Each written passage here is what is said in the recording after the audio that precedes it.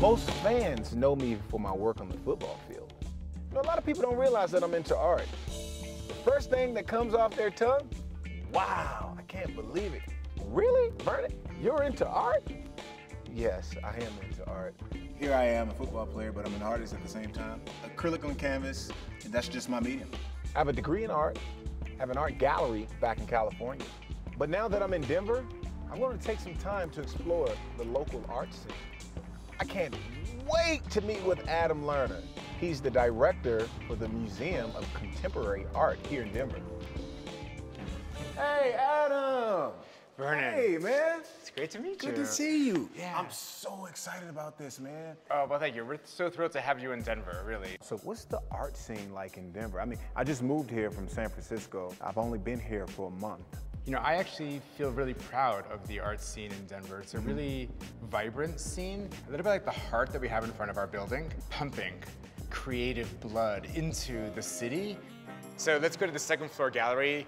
Some extraordinary paintings up there. let's do it. see. I love art. It takes you places that you'll never imagine. Sometimes I could be having a bad day, but if I'm sitting in front of a canvas, I'm just focused. My mind's nice and relaxed. It's kind of like doing yoga.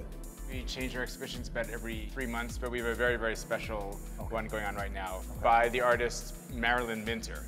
When you walk in and you see uh, Marilyn's pieces, I would have to say it's intense. I was just like, wow, this is incredible. This is amazing. It seems like when she paints, there's a lot going on, but when you look at it, when you step back and look at the overall painting, it's perfect. Yeah. It just flows together. One thing that she does in all of her work is focused on these very minute details of the human body. I noticed that, yeah. So that's actually, if you could kind of make out the. Oh, let me change see- angles real quick, Adam. I like to, I'm sorry, whenever I'm looking at paintings, I like to change the angles. Okay, now I can see it. I can see it. I can't see it from there, but I can see it from here. Adam, come look at it from this angle. Look at this. It changes, right? Yeah, well, So even step right here in this spot right here. look, look at that. you really do see the painting differently. Yeah. I really appreciate the creativity that you put to looking at art. Not many people will do that. Vernon is a real art lover. It's probably the fact that he has to always be very attentive in his daily practice as a football player to the visual field in front of him that makes him so good at, at looking at paintings. Wow, I didn't know you guys had this in here. Yes. Come down here, Adam. Come on. It's totally abstract here. It looks almost like a sea of gold. this is actually redefining my perspective. You have no idea what's going on in my mind right now. Yeah, I Like- could tell you're really into this. Yes. I'm going to go home and I'm going to dream of this.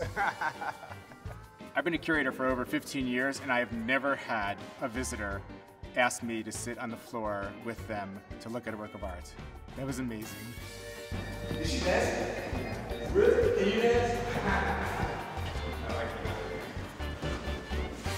Everything was just right with him. We connected. It feels as if um, we've known each other for years. Adam, I really appreciate everything you did for me today. Right now, I'm really inspired to get out in Denver. It's been my pleasure, so thank you. Thank you, Adam. There's so many things that I learned today that I can take home with me from this gallery and I can incorporate it into some of my work.